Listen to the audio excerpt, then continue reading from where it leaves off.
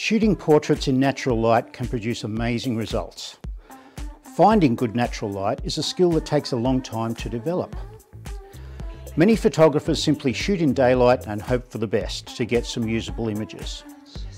The best natural light photographers know how to seek out great light. They know how to manipulate natural light to suit their purposes.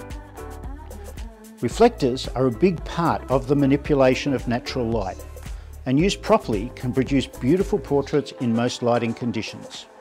There are various types of reflectors used in photography. The most popular one is the 5-in-1 reflector that we're going to show you how to use in this video. We're going to give you 30 tips on how to use a 5-in-1 reflector. We took Layla, our model, to a local park at midday, which is the most difficult time of day to shoot natural light, to show you how to use a 5-in-1 reflector. When you're using a reflector, it's not just good enough to hold it up in the hope that it's going to reflect onto your subject you need to hold it in a precise position, or your assistant needs to hold it in a precise position. Now science tells us that the angle that light hits a surface is the same as the angle that it reflects off that surface. The angle of incidence equals the angle of reflection. It's similar to a billiard ball or a snooker ball. It hits the cushion at one angle and it leaves the cushion at the same angle. So your assistant or yourself have to be precise with where to hold that reflector to reflect the maximum light onto your subject. G'day, we're here talking about reflectors today. The sad truth is that most photographers have got no idea how to use a reflector properly. Whether they're using in sunlight, in shade, in studio with flash or whatever, I see so many YouTube videos when the photographers have just got no idea. They're teaching people the wrong way to do it. Now, the major thing that we need to think about when we're using natural light or any other light in a photograph is that your brain expects the light to come down from above. Because in the real world, the sunlight is the only light that we normally have, and sunlight comes down from above. So your brain is happy when the light is coming down on your subject.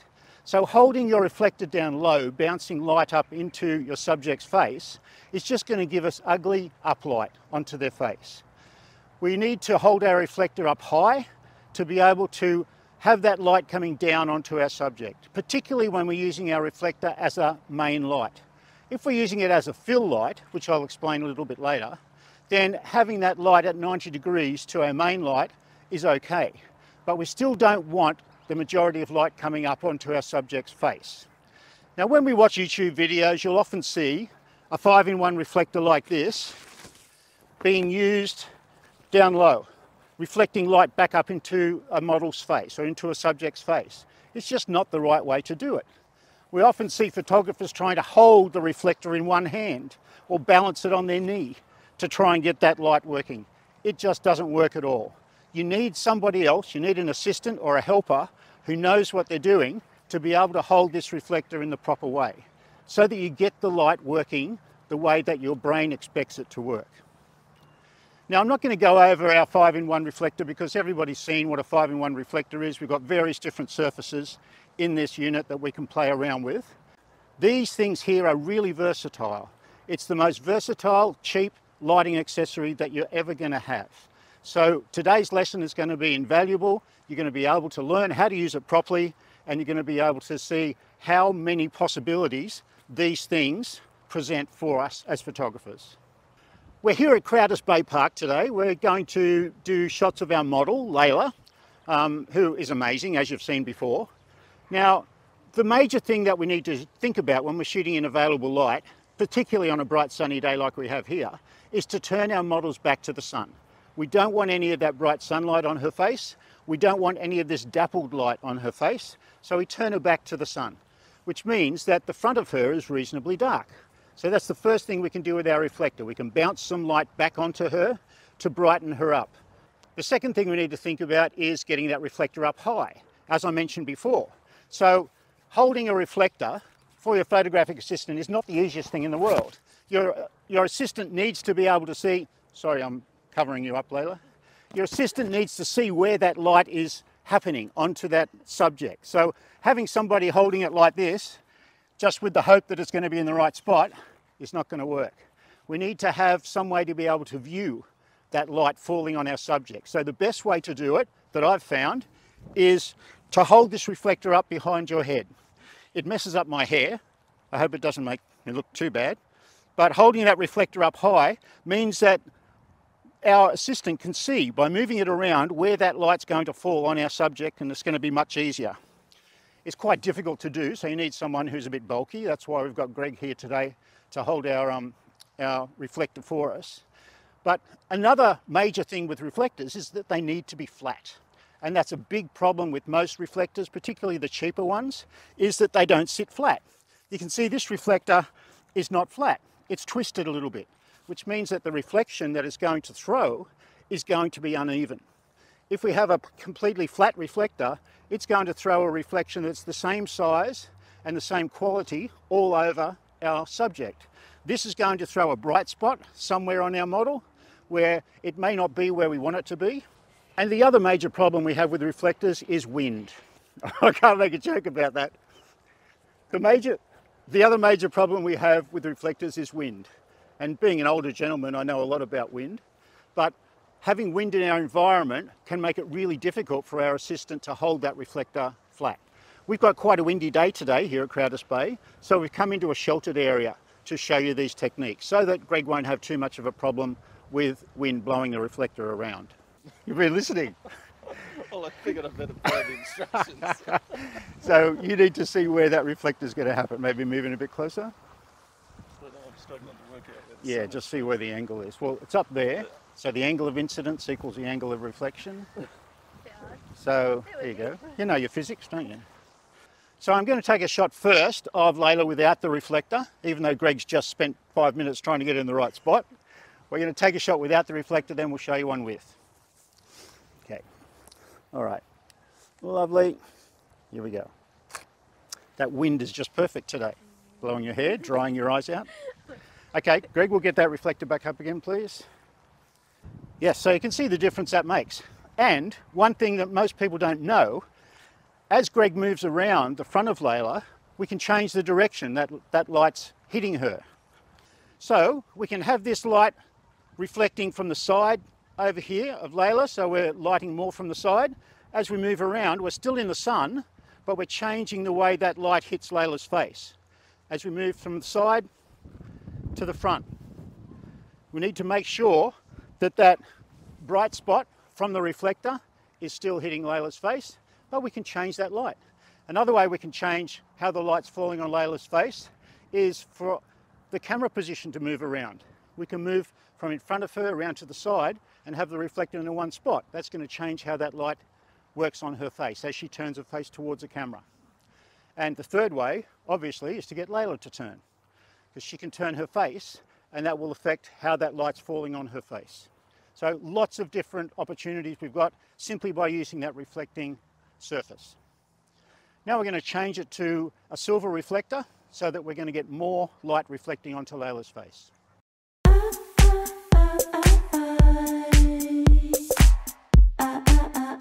Now we've got our silver reflector from our 5-in-1 and we're reflecting sunlight back onto Layla. And you'll see the problem that we have with doing this. The major one is that it's going to blind Layla because it's just so bright. She can't open her eyes properly with that silver reflector there. The best way to use this silver reflector is to move it into the shade. So we're going to move both Layla and Greg into the shade and use that silver reflector just to brighten up Layla a little bit. There you go. It's much easier for Layla because she hasn't got that bright light in her face. And it's easier for Greg too because he's not getting his bald spot sunburn. okay, now we're going to use our reflector now as a chin reflector to bounce a little bit of light back up into her, her face. Up till now, we've been using the reflector as a main light because it's the main brightest light that's been lighting Layla. Now we're going to use the ambient light as our main light and we're just going to use a little bit of fill from down below to light into the shadow areas of Layla's face. We don't want this bottom light, this up light to predominate because it's going to look spooky. It's going to make her look really creepy um, and she doesn't want that. Do you? No, okay. So we're going to switch to the white one again, which is really going to piss Greg off because he doesn't want to keep changing reflector surfaces. So instead of using the white reflector, we're using the scrim here because the scrim is less reflective than the white. Even with the white reflector in the shade, we could get a little bit too much uplight onto Layla's face. So we're using the scrim, which is reflecting maybe 40, 50% of the light up and the other 40, 50% is going through. So it acts like a grey reflector. Okay, so we'll take one without first. That's it. Okay. All right, great. Now we'll need to get it in fairly close. Greg? Yeah, that's it. That's good. You can see that? Lovely. Yep. Okay. I wish manufacturers of 5-in-1 reflectors would give us a grey surface instead of that horrible gold one. There's no reason why they couldn't because sometimes white and silver are just too bright in some situations. A grey reflector would be a much more helpful um, surface to be using. Now, one thing that a lot of photographers don't realise either is that we can change the quality of light from our reflector by moving it closer or further away from our subject. The closer we move that reflector to our subject, we're using a scrim at the moment to reflect that light, the larger the light source is. And obviously the brighter the reflection will be as well. But we can move it further back to harden up that reflection or move it in closer to soften it. So we're going to do both here. So we've got this reflector about a metre and a half from Layla. Here we go. Yeah? Lovely. Good. Yep. Now we're going to move it in closer. As long as we keep it out of frame, it's not going to be a problem. So in a little bit closer, Greg. Yeah, that's it. Okay, great. Come around the front a little bit more, Greg. Yeah, there we go. Great. Yes, beautiful. Okay. So because that reflector's closer, it's softer, because we all know the larger the light source relative to the subject, the softer the light's going to be. One other benefit of using a reflector is that it puts a little catch light, a little bright catch light in your subject's eyes. That just makes them sparkle a little bit more, makes them stand out a little bit. So we're going to do a couple of shots with the reflector, a couple without, to show you that difference as well. I'm going to get in really close, which is going to make Layla feel really awkward, but I want to be able to see that catch light in her eye. All right, so we'll do it with the we'll do it without the reflector first. Sorry. Okay, here we go. All right, just shooting in there close. Here we go. Lovely. A Bit more serious one for me. Yeah, that's it. Great. Okay, now we'll get Greg in with that reflector and we'll see that bright highlight in Layla's eye. Yeah, there you go. Great. All right, terrific. You can see the difference that makes. So we're in bright sunlight now. Um, we're facing Layla towards the sun because sometimes we need to have that as our background. If we're at a location where the best backgrounds are away from the sun, then we need to have our model facing towards the sun. It's not a great idea to shoot her in this sort of light because it's very harsh and very uncomfortable for our model. So I'm just going to shoot a shot like this and see how bad it looks. Sorry, Layla. Just look down at the ground. Yep, that's okay. All right. All right, so you can see how, how harsh that light is on her face, and it's very difficult for Layla to look at the camera because the sun's behind me. Now we're going to use the scrim and pull it in. Greg's going to get the scrim between the, the sunlight and Layla, and it's going to soften that light down and make it so much easier for her. And it's going to give us beautiful, soft light. Fantastic. Look at the difference in there. Simply because we put a scrim or a translucent piece of fabric between that sun and Layla. It makes it so much easier and so much nicer.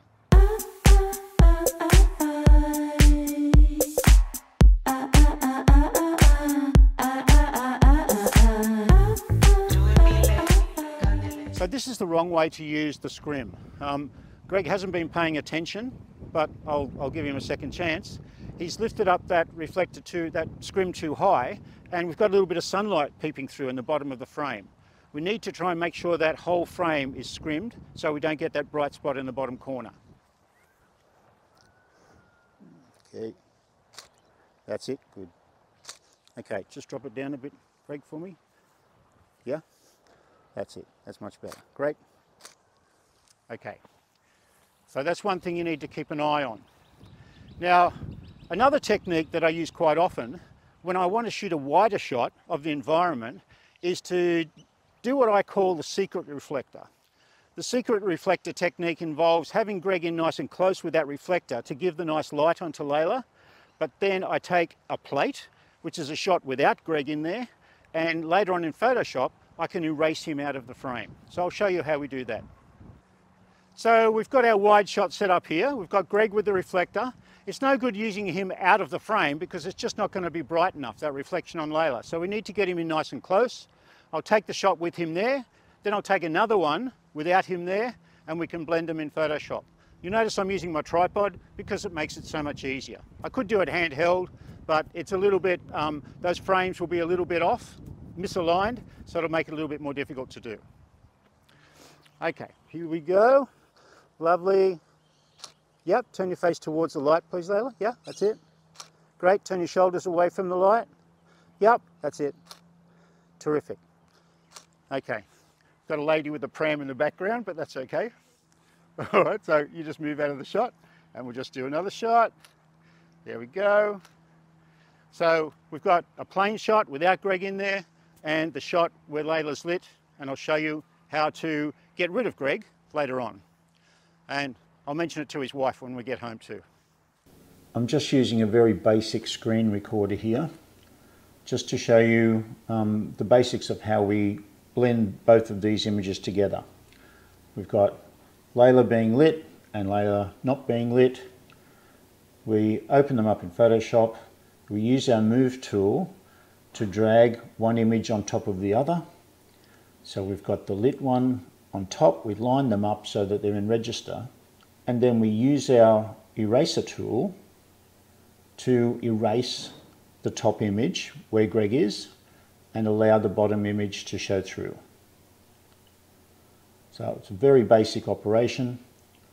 Once we've done that, we simply go up to our layers menu, go down to flatten our image, and then we can save it.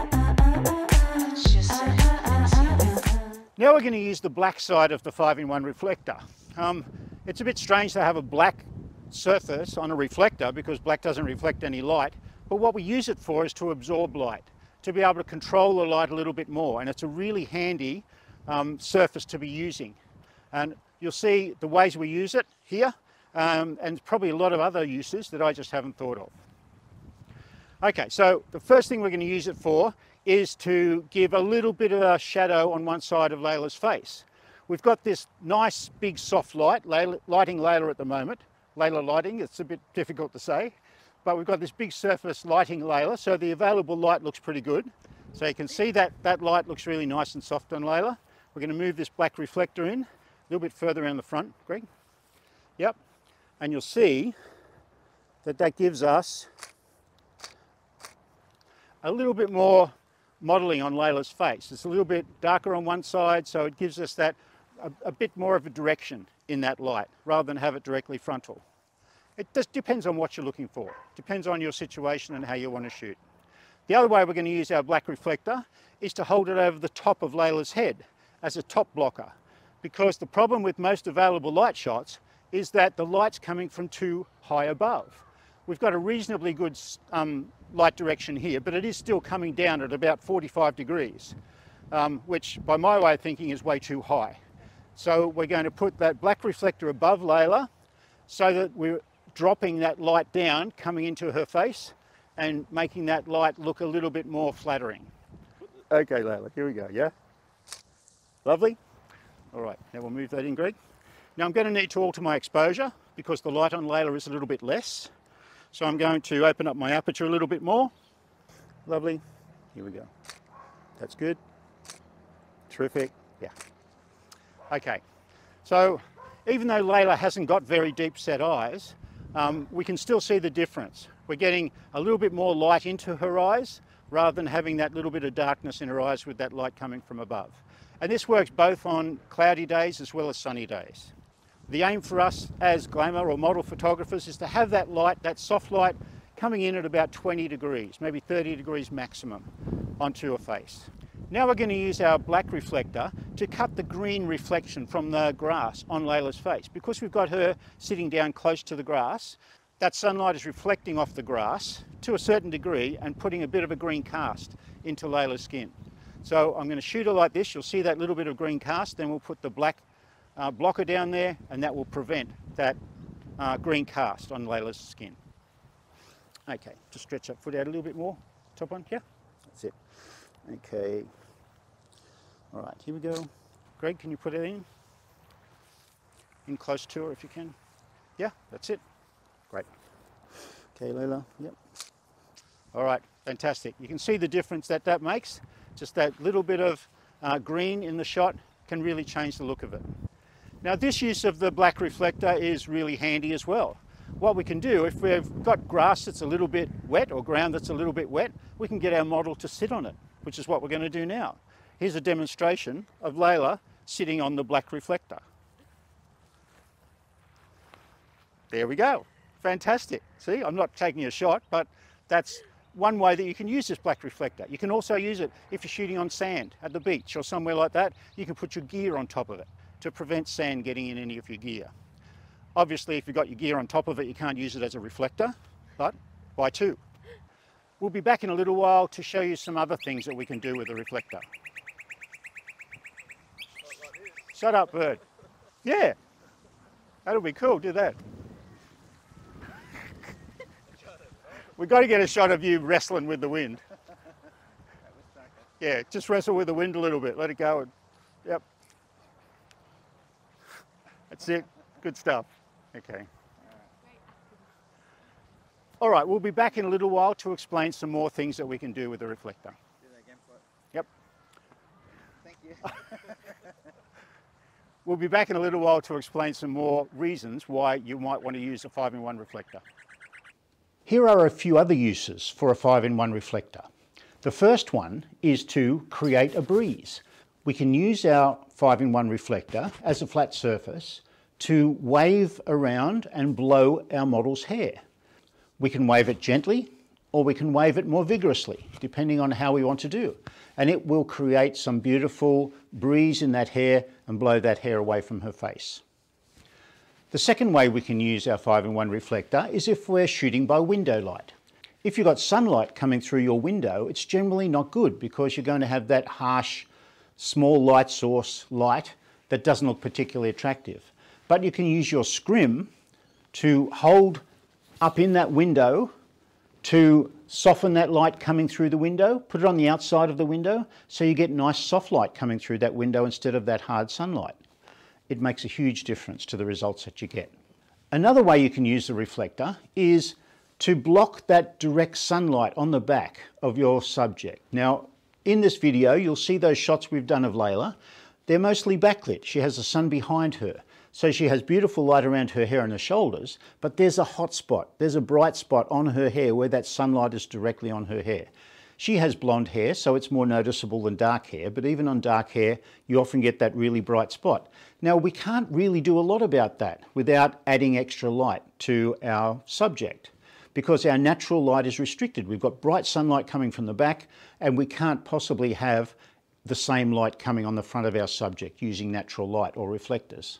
So we can put a scrim in behind Layla, held into that sunlight so that that lessens that brightness of the light hitting the back of Layla's hair or hitting the top of Layla's head so that it softens that light down and doesn't make it quite as harsh. We could even probably get some good detail in that bright light hair if we wanted to. I haven't done it with this shoot, but it is possible and it's quite easy to do. Another use for the dark side of your reflector, the black reflector, is when you are shooting through glass. If you're shooting someone sitting in a car through the glass of the window, or you're shooting someone inside a house or a building through the glass of the window, you can get really nice soft light coming on their face, but the problem is the reflection of that glass of the outside environment. The reflection is overwhelming and you can't see your subject particularly well. One way you could help that situation would be to use a polarizing filter, which would help to negate that reflection on that window. But we can also do it with the black side of our reflector. We can put that black side of the reflector up in that situation to block that reflection light onto our model and we get that beautiful light coming through that window without any bother of the reflections. There are many more possibilities with reflectors when we use flash. But we're not talking about flash today. We're only talking about natural available light. So we'll make another video in the future about using reflectors with flash. Another way we can use our black reflector is to use it to block the sunlight on my lens. because if I'm shooting towards the sun, which I love to do, on a sunny day, I'm going to get lens flare because that sunlight's hitting the front of my lens. So we can use that black reflector to just shade my lens so that I get that beautiful light on Layla, but I don't get any lens flare from my camera. Okay, we'll shoot one without that first, with a bit of lens flare.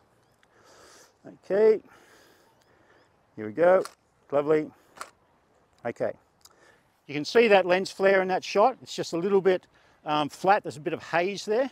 Now we're going to use the black reflector to block that sunlight.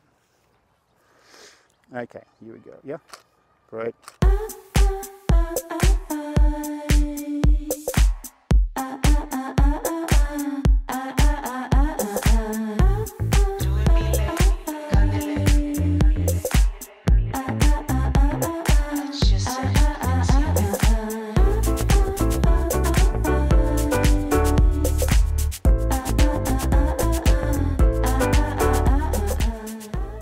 Using our reflector as a background.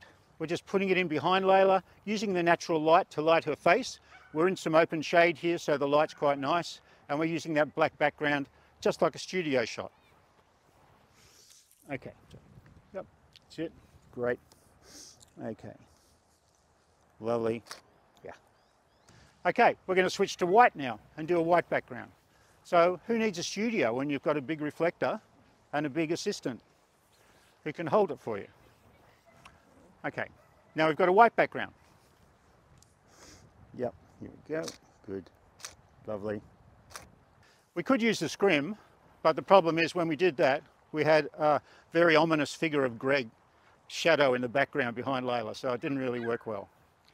Greg wants us to use the gold. Okay, so we'll use the gold. Yep, here we go. Lovely. Yeah. Now we're going to use one of the least popular sides of our 5-in-1 reflector, which is the gold. Now, most people don't like the gold because it gives an unusual look onto people's faces. It looks like they're too tanned and the background's a different colour, but I'm going to use it for that reason. I'm going to use the gold reflector to light Layla's face, and then in post-production, I'm going to change that light on her face to normal, which is going to make my background a little bit blue. So you can be creative with this stuff as well. Lovely. Tell me when you're ready, Greg. Yep, great. That's it. Good. One more. Greg. Another way we can use our white side of our reflector is as a white balance tool. We can shoot Layla with that white card in front of her and then we can correct any subsequent shots with our white balance tool in Photoshop or Lightroom. So if we want to shoot a series of shots over this way, we just take one with the white balance tool and then we get rid of it and we shoot all our others and we can correct them all, uh, correct all the white balance. Okay, so here we go.